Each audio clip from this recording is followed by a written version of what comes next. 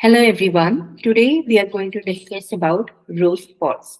In this particular video, we will discuss what will be the clinical features of a patient presenting with rose spots and what we will find on cutaneous examination.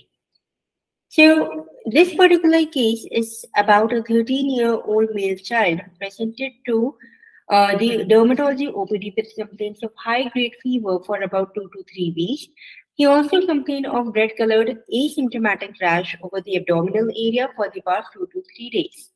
The patient was simultaneously examined by a pediatrician as well. The patient was admitted and uh, certain tests was, uh, were run. The report was suggestive of typhoid fever.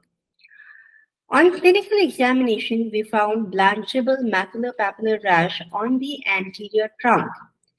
So this is how the cutaneous examination of the patient looked like. The patient presented with uh, maculopapular rash, which was blanchable in nature, particularly on the abdominal region, extending from the area below the nipple up till the, the waist region. And this uh, rash was asymptomatic in nature.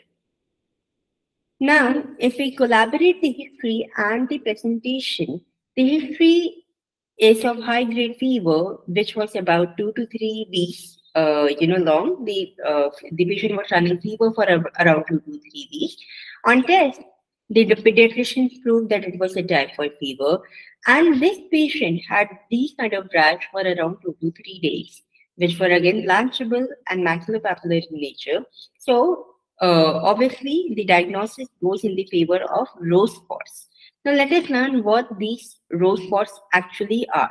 This is another picture of the same uh, patient in which you can find uh, this blanchable maculopapular rash present over the abdominal area. So rose spots are seen in about 30% of the patients infected with Salmonella typhi and particularly seen in those patients who are untreated. So untreated typhoid fever patients can present with rose spots in about 30% of the cases. It is usually seen in about second to fourth week of the illness, uh, and the appearance of the lesion I've already described it to you. They are asymptomatic in nature and they last for around three to five days. So we need not treat the rash as such because it will automatically disappear. We need to definitely treat the fever though. What are these uh, rose spots? Rose spots are basically the emboli. They are bacterial emboli to the skin, and with the clumps of the bacteria, they travel through the bloodstream, and this is how it appears.